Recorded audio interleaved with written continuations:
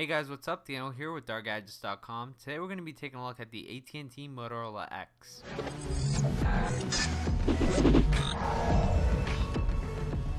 The Moto X is Motorola's first device under Google supervision. The device sports a 4.7-inch 720p AMOLED display, 2GB of RAM, 4G LTE, and a Motorola X8 mobile computing system which includes a software-optimized dual-core Snapdragon S4 Pro, a quad-core Adreno 320 GPU, a natural language processor, and a contextual computing processor.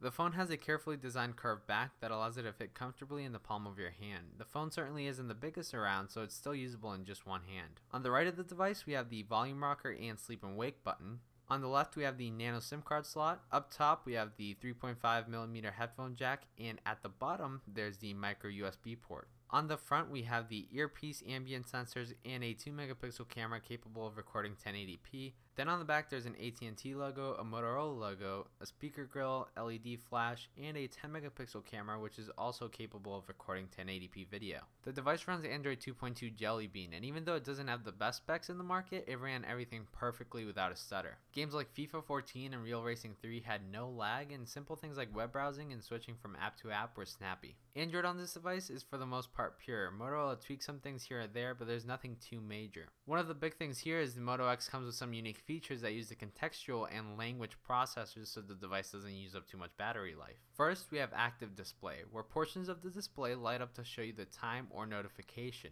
Active display turns itself off when it's in your pocket or face down and will only turn back on if it's face up or out of your pocket. When you get a notification, you get a little icon of the app instead of the unlock icon, and you can drag up to launch the app to see or respond to the notification or just swipe down to unlock the phone. Next, we have touchless control, which learns your voice through a three-step process and then enables the phone to always be listening for the command, OK Google now.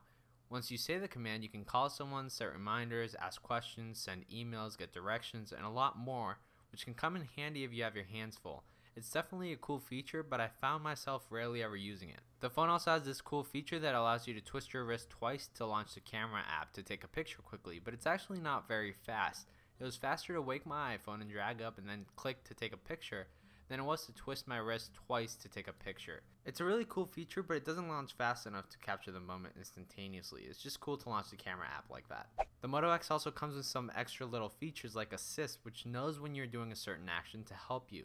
So if you're driving, it will read text, play your music, and tell you who's calling. There's also Motorola Connect, which lets you reply to text and see who's calling right from your computer. Motorola Migrate to transfer data from your old Android to your new one wirelessly.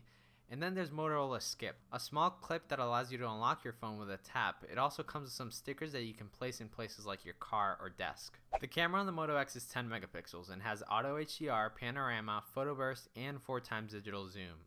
The camera itself is lacking features. It doesn't let you manually focus part of the picture before taking it.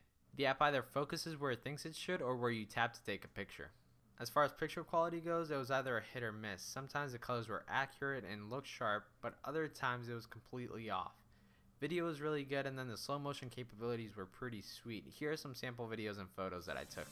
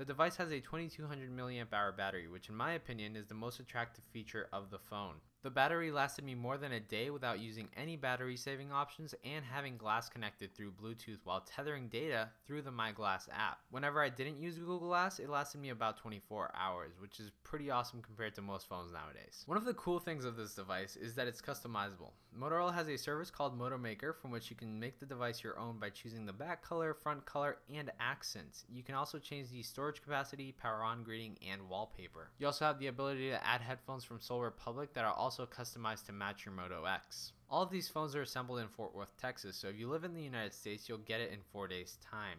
And if you happen to not like the device, you can always just return it and exchange it for something else. The Motorola X is definitely a phone worth considering, especially if you're looking for a smartphone with great battery life or you just want to spice up your life with color. The device is available for $200 on a 2-year contract or unsubsidized for $579.99. Thank you for watching this video and AT&T for letting us borrow the device to review. We'll catch you guys in the next video. Goodbye.